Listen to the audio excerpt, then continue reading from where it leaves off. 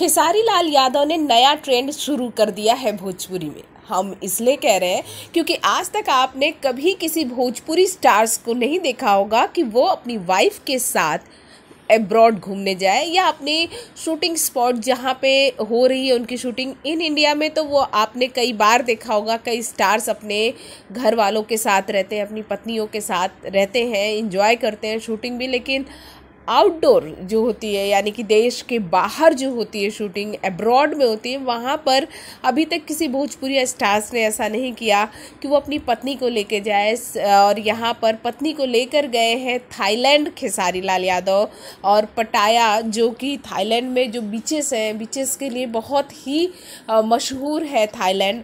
दिनों पटाया बीच के पास खेसारी लाल यादव की फ़िल्म की शूटिंग, संघर्ष फ़िल्म की शूटिंग चल रही है और यहाँ वो अपनी फैमिली के साथ है, अपनी बेटी के साथ है, अपने बेटे के साथ है और अपनी पत्नी के साथ है और इस पर वो लगातार फ़ोटो जो है पोस्ट कर रहे हैं। ये एक नया ट्रेंड जो शुरू किया है भोजपुरी इंडस्ट्री में खेसारी लाल यादव ने। ये बहुत ही अच्छा है क्योंकि बहुत कम हमारे भोजपुरिया स्टार्स हैं जो अपनी पत्नी के साथ फोटोग्राफ शेयर करते हैं सोशल मीडिया पर।